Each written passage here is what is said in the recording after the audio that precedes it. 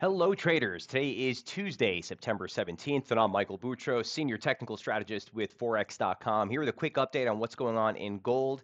Uh, trading at all-time record highs, just below 2,600. Obviously, tomorrow the Federal in, Federal Reserve interest rate decision is on tap. Markets are currently pricing in a 50 basis point cut tomorrow.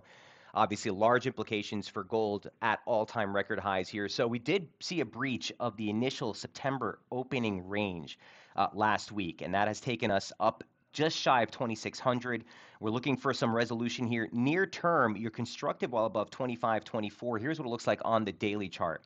An embedded channel formation has us writing right up along that upper slope right there. So coming into near term uptrend resistance uh, right ahead of the fed initial support 25 24 that's the measured move for the inverse head and shoulders formation that we saw and obviously constructive while above 2469 losses should not ex, uh, exceed this low if price is heading higher. On the top side a breach of this formation has us looking for 2643 into 2671 Fibonacci confluence here that does converge on numerous upslopes. So we are looking for a larger reaction there if reached.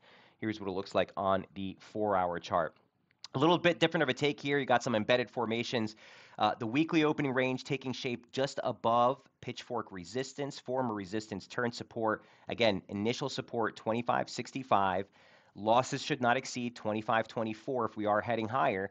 Next upside targets, key resistance at 2643 and 2671. Again, those uh, converge on numerous upslopes.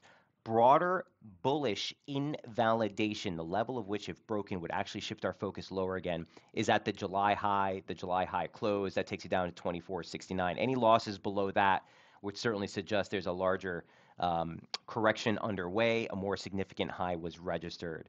So keep that in mind heading into the interest rate decision. Obviously, like I said, markets are pricing in about a 50 basis point cut right now. We'll be getting the updated economic projections and uh, dot plot, and certainly markets will be taking notes uh, mostly off of those releases tomorrow. We'll keep you updated as always on X at MBForex and on the weekly strategy webinar on Monday mornings at 8:30 Eastern. Till then, best luck trading. Cheers.